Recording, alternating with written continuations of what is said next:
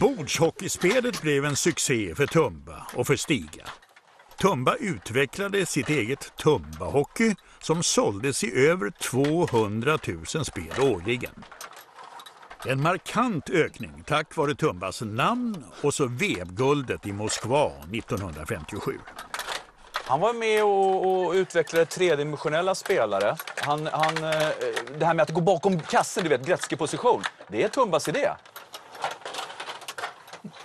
Var han bra i det här? Nej, det kan man kanske. Han, han hade väl några eh, specialare, bland bland annat den här skyffen. Du vet, man spelar från högerforward in till centern. Och så hugger direkt där inne.